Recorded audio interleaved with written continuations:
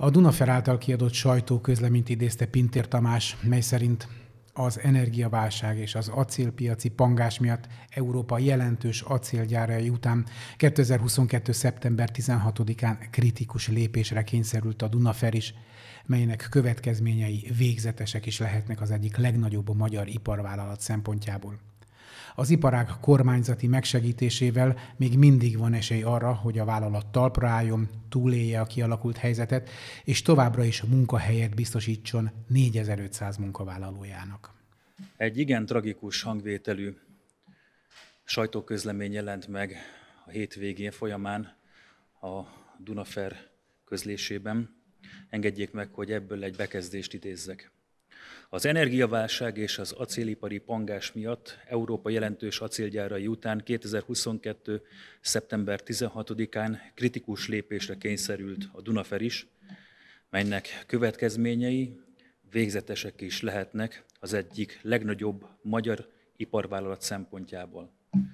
Az iparák kormányzati megsegítésével még mindig van esély arra, hogy a vállalat talpra álljon, túlélje a kialakult helyzetet, és továbbra is munkahelyet biztosítson 4500 munkavállalójának.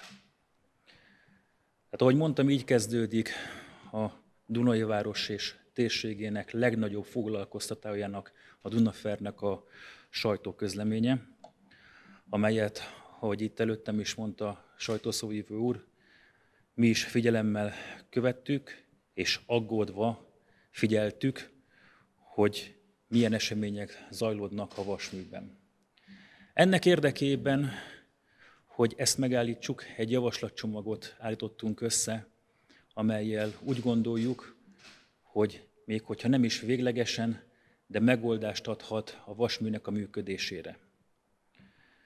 Szeretnénk azt, hogy ne a Dunafer legyen az energiaváraknak az elszabadulása miatt a legnagyobb vesztese Magyarországon a többi nagy cég közül. Sokszor mondtuk már, hogy Dunajváros megyei jogú város önkormányzata minden eszközt megragadott ahhoz az elmúlt időszakban, hogy megsegítse a Dunafert. Itt elmondhatom például adótitkok megsértése nélkül, hogy iparűzési adó befizetésének könnyítésével megpróbáltunk megtenni az elmúlt időszakban minden lehetséges lépést annak érdekében, hogy a vasmű talpra tudjon állni és működni tudjon. Számtalan alkalommal is kerestük a magyar kormányt annak érdekében, hogy megoldást nyújtson az itt kialakult helyzetre, arra a helyzetre, amely városunkra nézve is tragikus következményekkel járhat.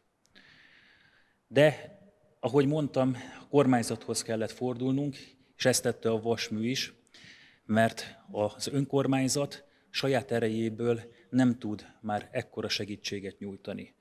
Csak hogy szemléltessem a dolgot, az önkormányzatunknak a saját bevételei 10 milliárd forint körüli összeget tesznek ki, míg a vasműnek 300 millió, milliárd körüli, tehát a 10 milliárd és 300 milliárd forint körüli összegeket nem lehet összehasonlítani. Számtalanszor kerestük már a párbeszédet a magyar kormányjal annak érdekében, hogy közösen segítsük a gyárat.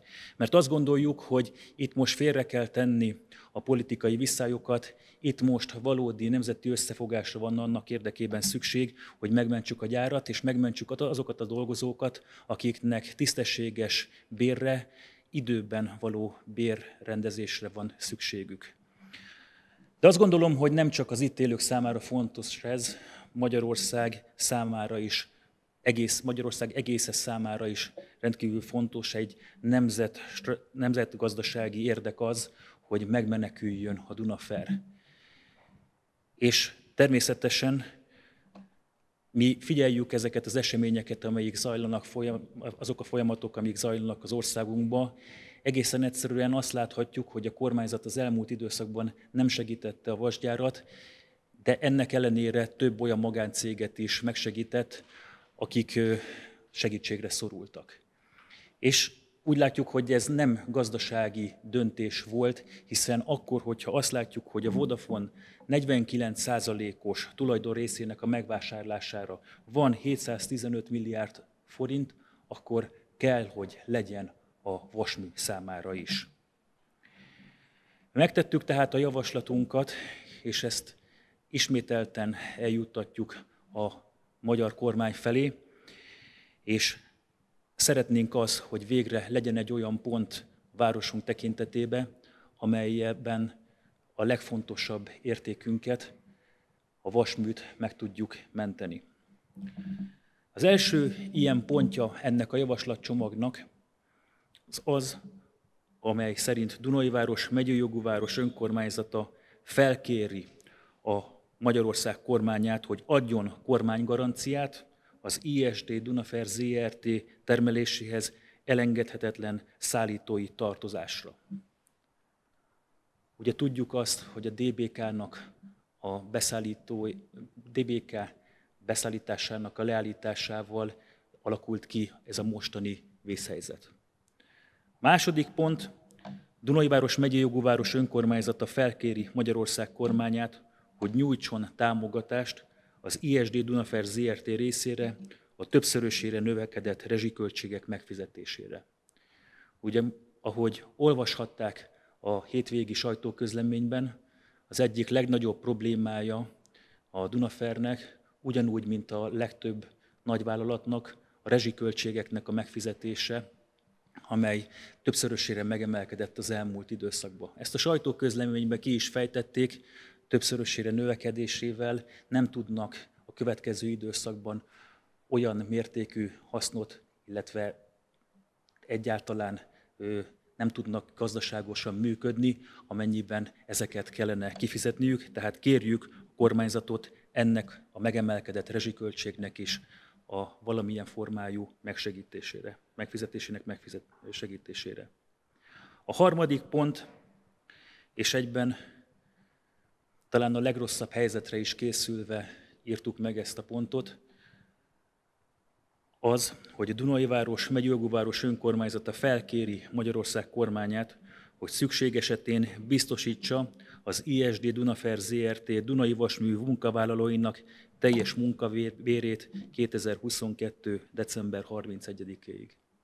Ugye, mint ahogy a sajtóközleményből is kiderült, ez a hét kritikus a vasmű életében, talán a legkritikusabb az eddigi történelmében, és láthatjuk azt, hogy amennyiben a következő időszakban is csak egy kohó, egy kohó sem lesz már képes arra, hogy üzemeljen a vasműbe, akkor megáll a termelés, leáll a gyár, az embereknek pedig a munkahelye veszélybe kerül. A sajtótájékoztatót Pintér Tamás azzal zárta, hogy őszintén hisz benne, hogy a vasmű nem politikai kérdés. A gyárnak működnie kell, az ott dolgozóknak fizetést kell kapniuk. Ezért a város vezetése mindent meg fog tenni, hogy ezt segítse.